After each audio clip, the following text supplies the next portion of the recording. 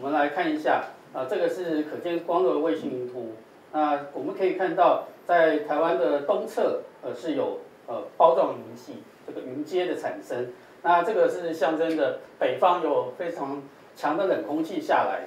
那同时呢，在台湾的西半部还有北部地区，呃，这个云层几乎都是啊非常的这个晴朗的天气。呃，就也就是说，呃，今天呃，由于大气非常干燥，所以几乎各地都不会下什么雨，只有在迎风面的东部、东南部、恒春半岛会有一些零零星星的短暂雨而已。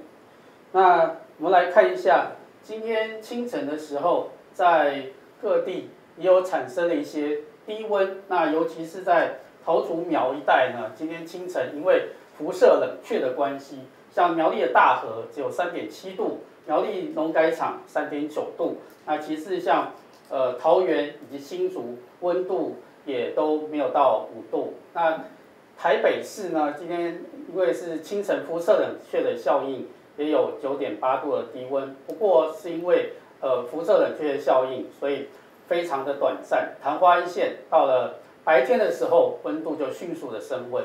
那今天白天呢，温度会比昨天还会再上升一些。那我们就看一下，呃，明天的话，在辐射冷却效应的影响之下，清晨的时候，呃，各地的温度还是比较低。呃，就是像北部地区大概是八度，中部是九度，南部十一度。东部的话，大概东北部十一度，东部十四度，东南部大概是十五度。红金马外岛，其中又以马祖、金门也有十度以下低温发生的几率。不过呢，明天随着白天太阳照射升温，那同样的就是温度可以各地都可以达到二十度以上。那东南部地区更可以达到二十五度以上的这种温度。那我们就来看一下未来。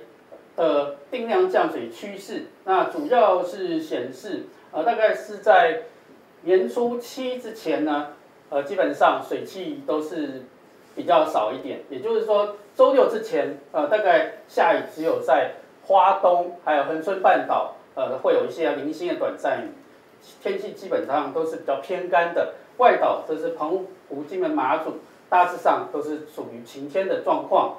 那不过初期开始呢，北方的东北季风会稍微增强一些，所以北部东半部地区温度稍微下降一点。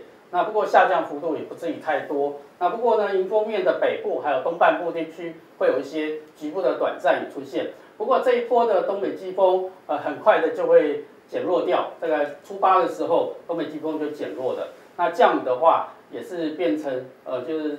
东半部地区为主，其他地区仍然是维持多云到晴的天气形态。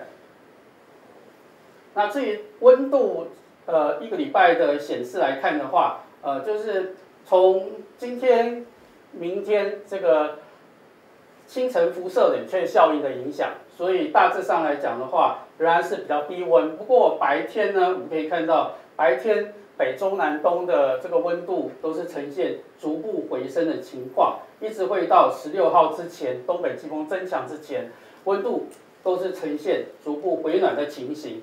那因此呢，呃，就是在回暖的时候呢，大概十五号、十六号，也就是呃十四号、十五号，因为温度回暖的呃比较明显一点，所以外岛的。金门以及马祖可能会有局部雾影响能见度，交通往返要稍微注意一下航班资讯。那十六号之后，呃，东北季风稍微增强一点点，所以呢，温度又会，尤其是北部、东北部又会再度下降到二十度以下的这个温度。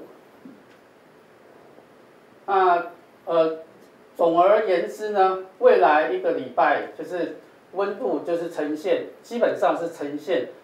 逐步回升的情况为主，一直要到呃初初这个初六之后呢，大致上才会有一些北部地区温度稍微微降的情形。